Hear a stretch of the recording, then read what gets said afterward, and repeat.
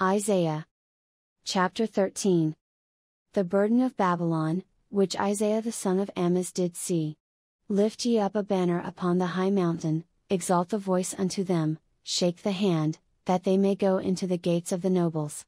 I have commanded my sanctified ones, I have also called my mighty ones for mine anger, even them that rejoice in my highness. The noise of a multitude in the mountains, like as of a great people, a tumultuous noise of the kingdoms of nations gathered together, the Lord of hosts mustereth the host of the battle.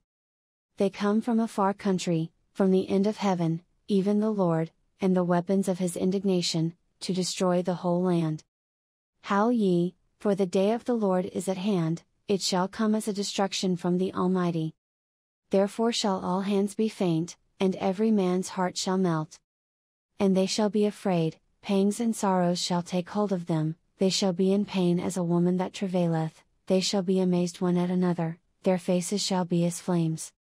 Behold, the day of the Lord cometh, cruel both with wrath and fierce anger, to lay the land desolate, and he shall destroy the sinners thereof out of it. For the stars of heaven and the constellations thereof shall not give their light, the sun shall be darkened in his going forth, and the moon shall not cause her light to shine. And I will punish the world for their evil, and the wicked for their iniquity, and I will cause the arrogancy of the proud to cease, and will lay low the haughtiness of the terrible. I will make a man more precious than fine gold, even a man than the golden wedge of Ophir.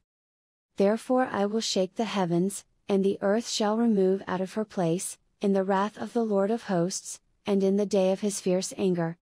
And it shall be as the chased roe, and as a sheep that no man taketh up, they shall every man turn to his own people, and flee every one into his own land.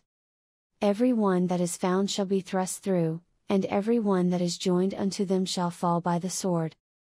Their children also shall be dashed to pieces before their eyes, their houses shall be spoiled, and their wives ravished.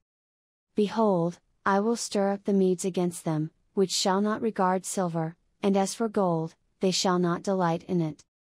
Their bows also shall dash the young men to pieces, and they shall have no pity on the fruit of the womb, their eyes shall not spare children. And Babylon, the glory of kingdoms, the beauty of the Chaldees' excellency, shall be as when God overthrew Sodom and Gomorrah. It shall never be inhabited, neither shall it be dwelt in from generation to generation, neither shall the Arabian pitch tent there, neither shall the shepherds make their fold there.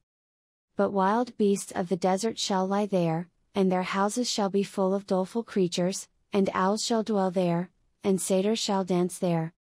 And the wild beasts of the islands shall cry in their desolate houses, and dragons in their pleasant palaces, and her time is near to come, and her days shall not be prolonged.